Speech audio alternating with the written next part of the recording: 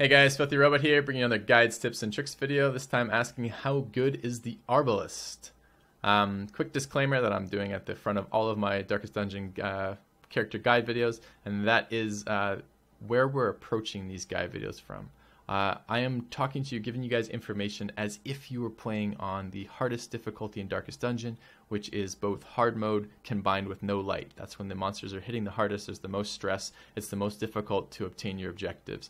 And I'm doing this because anything that works on the hardest levels of play is also going to work on the easier levels of play. All right, so uh, let's talk about the Arbalest. If you go follow along with me on the bottom of the screen, right below the webcam, you'll see the individual stats of the Arbalest compared to the average stats of the heroes, other heroes in the game. Um, as well, actually, the average stats of all the heroes in the game, including the Arbalest. But anyways, um, let's take a look at these. The Arbalest has fairly good HP at 55 HP um, at her final level at level 6 uh, compared to the average of 43.3.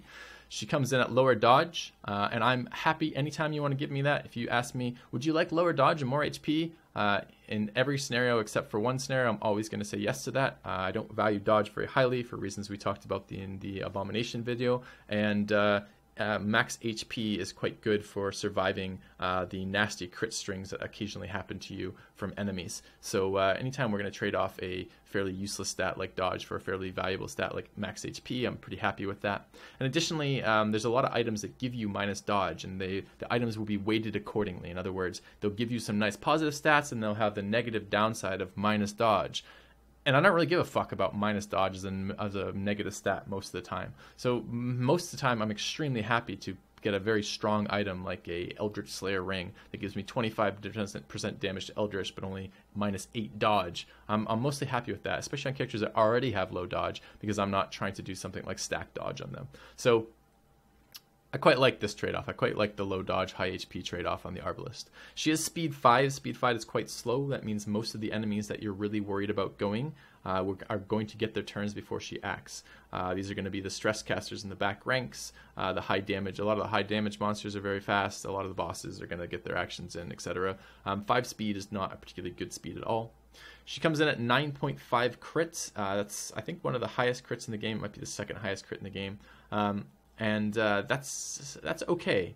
Uh, high crit should really be paired with high speed um, on, on a damage dealer because what that what that's what that's going to mean is that you shoot a target and a percentage of the time you crit that target and the target dies in one shot. Well, the arbalest is slow enough that she rarely shoots the target by herself for the first time. She almost always is cleanup duty, where she's shooting the target for the second or third time, which kills it. Which means this uh, this high crit chance is often wasted, right? Like a lot of the times uh, you'll shoot the target, the target's already at half, you crit it for 60 damage, but you only needed 15 damage to kill it or something like that, right? Which means that the 45 damage overkill really doesn't do a whole lot for you.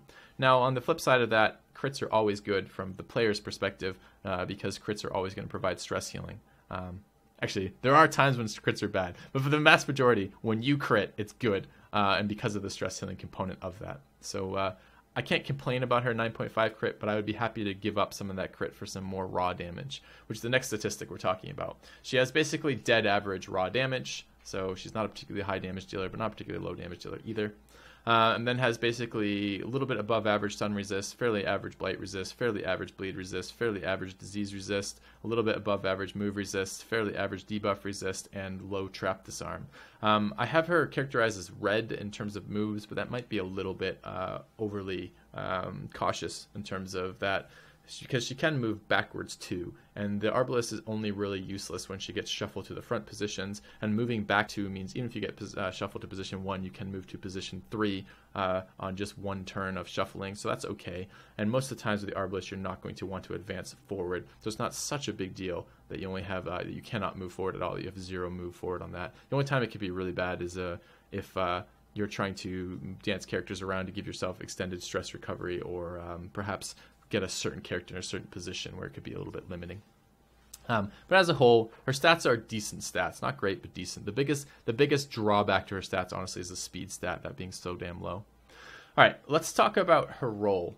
Uh, the Arbalest is almost almost entirely a damage dealer. She does have a heal ability that puts her as a secondary healer. Um, I mostly like to bring compositions that have quite a few secondary healers if I can, because that will allow me to get uh, in emergency situations that will let me get people off death's door. Uh, so she can do that. Uh, her bandage ability will allow her to heal depending on her position and the target's position. You can't heal all the positions because it only heals basically in front of her position, I believe. Uh, so it's okay. It's an okay healing ability. Uh, the buff element of that's not very, very, very useful most of the time, but uh, it will sometimes be a good emergency heal, or more likely uh, be an extra recovery heal that you might get off once or twice in a round or something uh, while you're cleaning up that last monster at a slow pace in terms of recovering for the fight. Um, all right, let's talk through her skills. Um, she is the first of the characters. I'm recording these in alphabetical order. She's the first of the characters we're going to encounter that has the mark uh, a marking ability, and she's got two ways to interact with marks. So marks are what should be a kind of cool mechanic and end up being a mechanic that is rarely used, which is too bad because they're neat. Uh, they come in two varieties. They come in a minus dodge variety and a minus protection variety. And uh, the way they work is they uh, they tend to do they don't do any damage. Uh, when you cast them on a monster, it gives the monster a mark, and enemies that attack that marked target with specific abilities gain bonuses to those abilities. And then the mark also applies a debuff to the opponent. In this t- in this case, it's minus dodge, uh, but in the other case, it's minus protection. So depending on who puts the mark on it, the mark will give the opponent either minus dodge or minus protection. Okay, here's the problem with mark. Um, debuffs in this game last for three actions but they're three it's not three rounds it's three actions it's three actions that the enemy takes so on an enemy like a boss that especially a boss that has multiple actions and that's most of the bosses most of the bosses have at least two actions and some of them now have three and i think there's actually a four action boss right so most of the time that means to, if you think about it what do you trade off giving to the mark. If you cast a mark you trade it off taking a hit. Okay? Well a hit does just by default a hit is 100% damage right?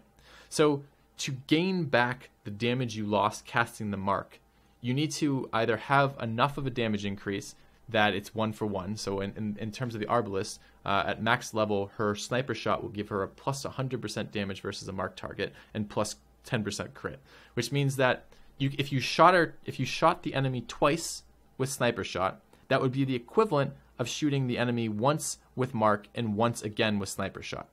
Okay, so that means you need two rounds, first of all, to make it ever equal. And it gets a little bit worse than that because, first of all, it's not actually plus 100% damage prior to level 5. Second of all, uh, not all the abilities scale up quite as nicely as the Arbalest abilities does. Like the Bounty Hunters is not quite as high, the Houndmasters is not quite as high. So, uh, in other words, they don't actually do plus 100% damage. So it's not the equivalent of taking two shots. It's only the equivalent of taking like one and a half shots. Um, the way that turn order works, since it's not uh, perfect, it's not um, perfectly predictable. There's a hidden modifier to the speed roll, means that sometimes you're planning on having a third action, but the enemy will go ahead of you, which means you miss one of your extra shots on it.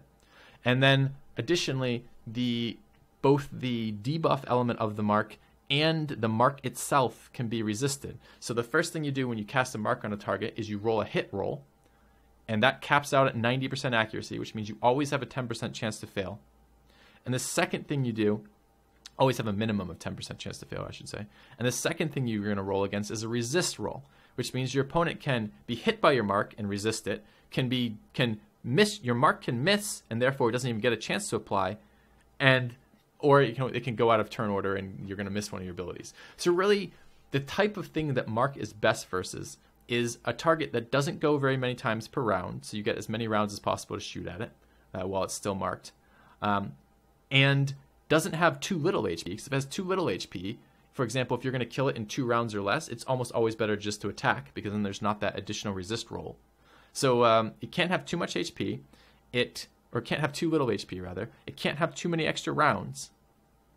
Uh, and your character needs to always be able to attack it. So if your character has additional abilities like stress healing or something else, where some rounds you're not going to want to attack, it's almost always better to also shoot it. So marks get better the more of them you have in the group, because then you're going to have more people can take advantage of it.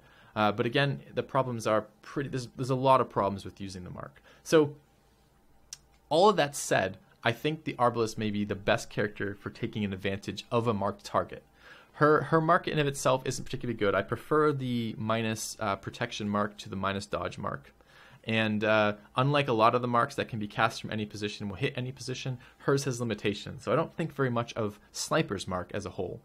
but I do think quite a lot of Sniper's Shot as a whole. It seems to be one of the best abilities to take advantage of a marked target. So things like stress ghouls, things like uh, giants, things like uh, swinetaurs, things like um, any of the new enemies, the uh, the ones that were added to level five missions that only have a single round per turn but are super super nasty.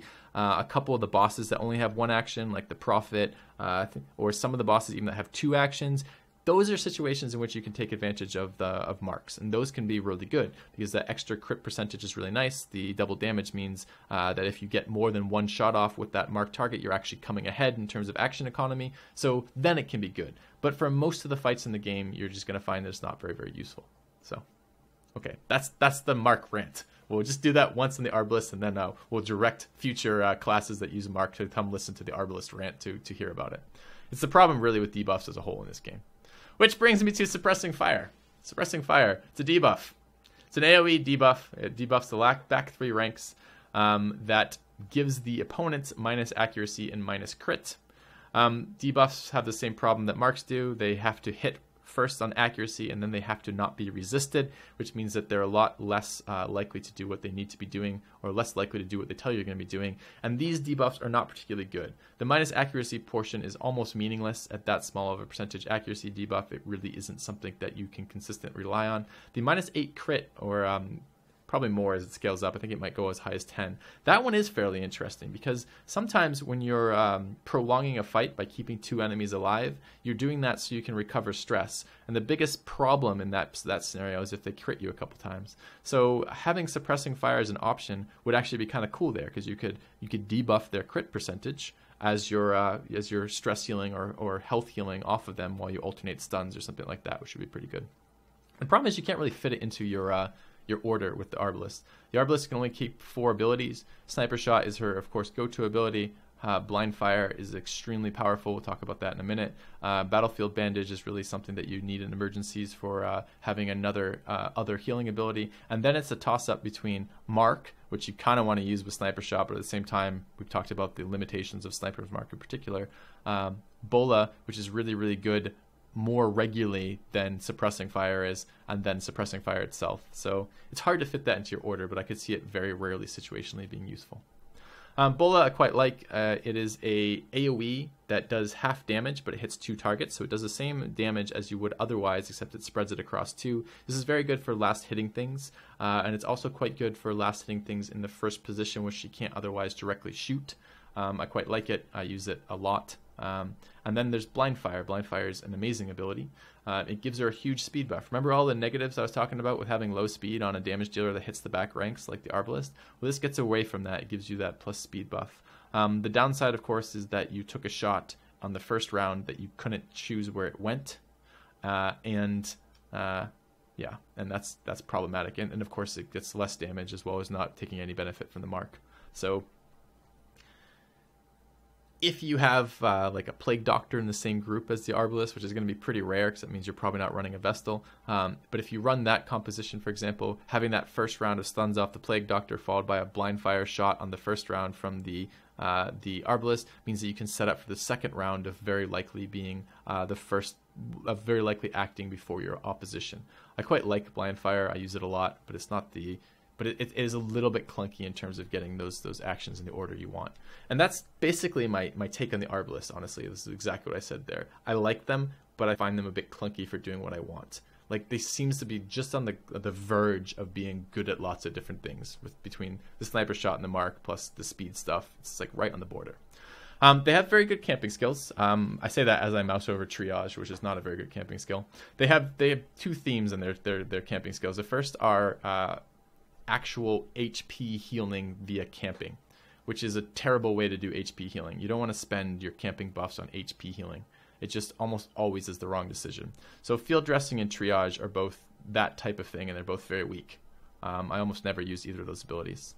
Um, her other two abilities, though, are very good. The first of these is Marching Plan, which gives all your all your teammates uh, plus two speed for four battles, and that's awesome.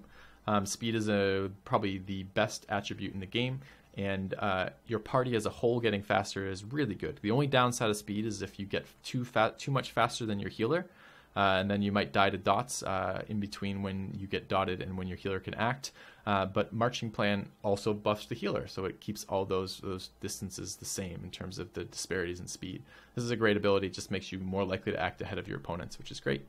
And then Restring Crossbow is really cool. Um, Restring Crossbow is damage, uh, ranged accuracy, range damage, and range crit uh, which are all things that the Arbalest can use. It does come with a minus two speed, which is kind of a big deal for an already slow character, um, but you can burn that off using uh, herbs again. So if you uh, know that you're going to be using this buff, it's very much worth it to invest in some herbs for the Arbalest and take this sweet damage buff to go along with that. Um, all right. Uh, any special restrictions with the Arbalest? Uh, not really. Um, she is. She does require pretty much position three, four. It's probably worth mentioning that. Uh, you're not going to want to run her anywhere else, but she's pretty much okay in both of those positions. Um, and overall, I'd give her probably an average rating. Um, not, it's the speed is what kills it, right? The fact she can project damage to the back ranks is great. Her abilities are fairly good. She has nice redundancy in terms of being a secondary healer. She's got good camping skills. The downside is she's just not really fast enough, and that is a bit of a problem because it means that a lot of uh, enemies are going to act before you get a chance to do what she actually needs to do. All right, guys, hopefully that was helpful. Thank you very much for watching, and I'll see you soon.